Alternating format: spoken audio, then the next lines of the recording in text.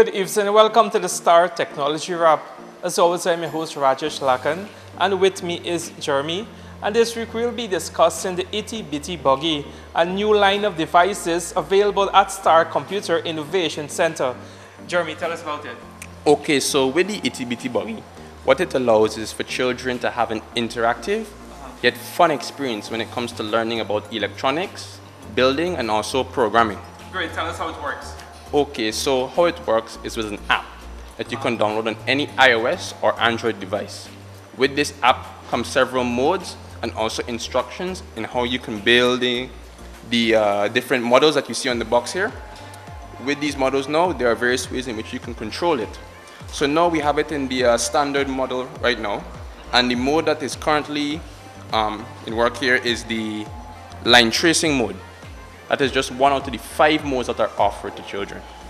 So, right now I'm in line tracing. I'll switch over to the remote control mode.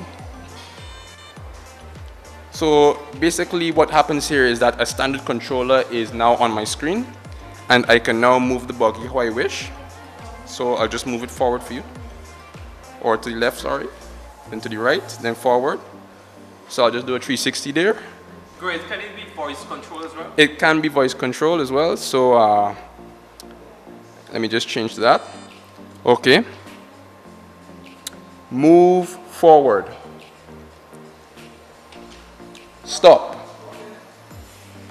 What's the objective of Star bringing on this new device here? Okay, well, the objective is just to capture kids, you know, imagination and creativity through a device like this. Generally, kids don't get an opportunity to learn, but at the same time having fun, you know?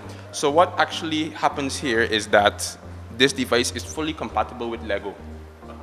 We know Lego to be something that children love to play around with, build with, and express their imaginations through.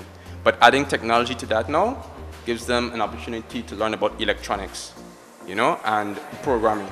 So they can effectively build whatever they see in their imagination, whether it be a car, whether it be a robot, you know, whether it be a spider that's indicated here, right? And once they build that, they can move it, they can program it to go forward, backwards, uh, how slowly they want it to move, how many steps, you know, all these are things that children can do in terms of the programming, you know, and allows them to appreciate those things from an early age. More creativity and thinking as well. Yes. Great.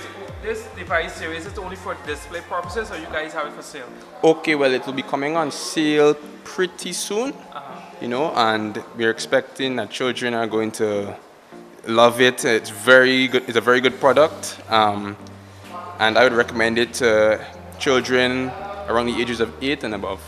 Great. Can parents, um, given that school is currently out, can parents bring their children along to test it out, have a hands-on approach to it? Of course, children can come and we'll be um, give them a chance to hold the device, use it, uh, build something if they wish, you know, fully get engaged in it, and they can tell us if they like it or not. But we, I am sure that they, uh, they love the device. Great, and no charge attached to that, right? No, no, not at all. Great. Aside from that, what else happening here Red Stars? Okay, so what else is happening at STARS is that uh, we have other devices that are also on showcase, uh, such as the uh, globe, the STEM globe. We have also uh, Einstein, which is basically a toy robot that allows you to ask him questions. He'll answer back to you in intelligent ways. You could also learn a lot from him, you know. Also, we have other things that are also, you know, that we're also planning to put out on sale. Um, all of that you can check up on our Facebook page. You know, we'll have updated information on there for you to check out. Great, well, thank you, Jeremy. And that's all we have for you in this week's edition of Star Technology Wrap. Do join us next week, Monday, for another edition.